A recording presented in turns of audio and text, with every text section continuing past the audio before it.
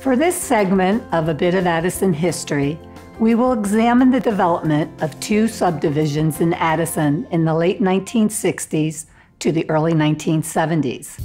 Kings Point West and Kings Point 3 were the ninth and tenth developments of the Justin A. Caron Construction Company. In a March 15, 1969 Chicago Tribune ad, Caron Construction Company states, It's true, and we're happy to announce the newest addition to the Caron family of communities, Kings Point West, our ninth in the Addison area. The site for Kings Point West was located a quarter mile north of the original Kings Point development. Construction on underground improvements and streets was expected to start in March. The development was on a square parcel of land. The main street, Kings Point Drive, circled the inside perimeter of the parcel and had two cul-de-sac streets from the northern and southern sections of the drive penetrate towards the center of the property. In total, 131 building sites were available for sale. Since Kings Point West had no streets or buildings, Caron directed potential buyers to visit the three model homes fully furnished and decorated at its companion community, Kings Point.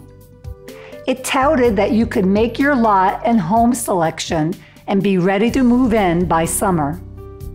The advertisement features its Herald House model as typical of the type of houses to be built at Kings Point. The bi-level house was a four bedroom with two and a half baths, family room, and two car garage.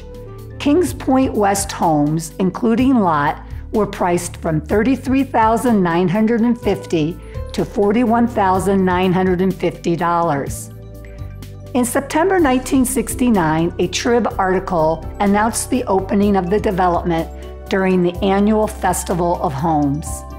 A new Spanish home model called the Grande was highlighted. The Grande was a raised ranch style home with up to five bedrooms, three baths, and a two car garage for a list price of $45,900. Its architecture and interior appointments had a Spanish flavor. Inside, rounded arches were visible as one went up a short flight of steps to the living room, and another to the kitchen, and two to the dining room. This, along with the cathedral ceiling lighting fixtures, made for a dramatic entrance. Three bedrooms and two baths were on the upper level. Buyers could choose whether or not to have the lower level finish as their budget permitted. Another original model for the development was called the Hampton. The four bedroom, two and a half bath bi level home featured a U shaped plan with a two car garage and bedroom wing extending to the front. The Hampton was available in four exterior elevations. It was also available without a garage and an unfinished lower level.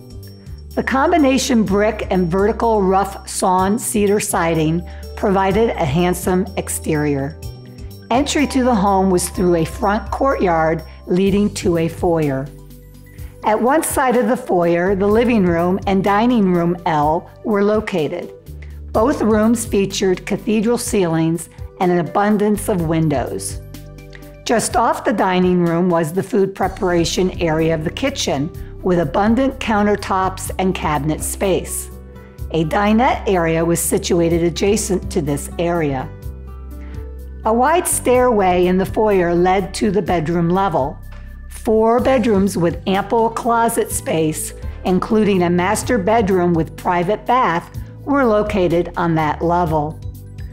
The lower level could feature a finished family room with bar and rough sawn cedar paneling, an optional fireplace, along with a utility room with laundry facilities.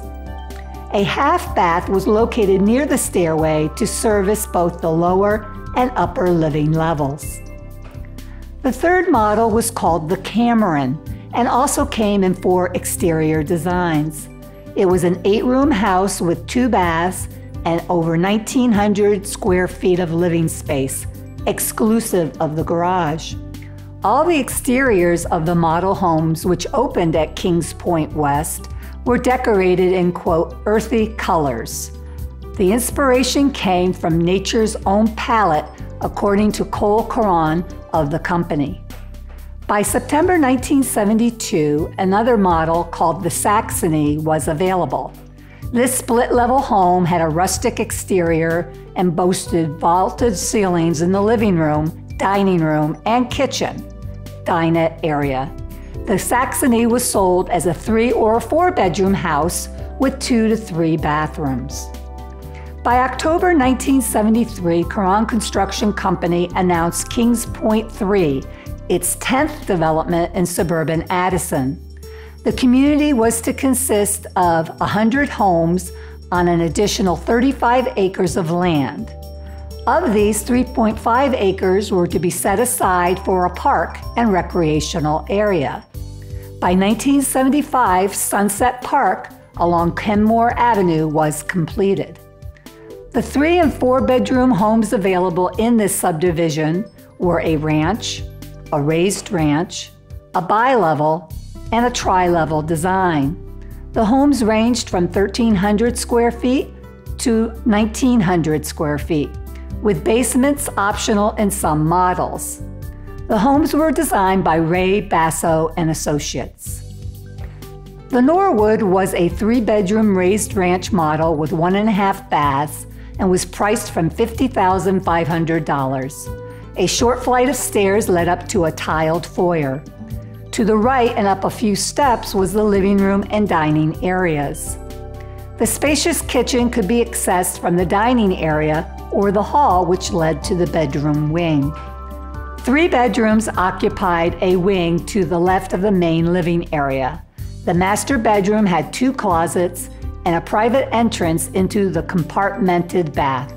The lower level of the home had a family room with optional fireplace, powder room, utility room, and an optional fourth bedroom.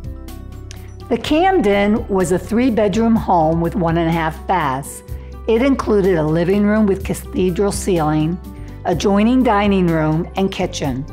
Three bedrooms were located up a few stairs from the main living area.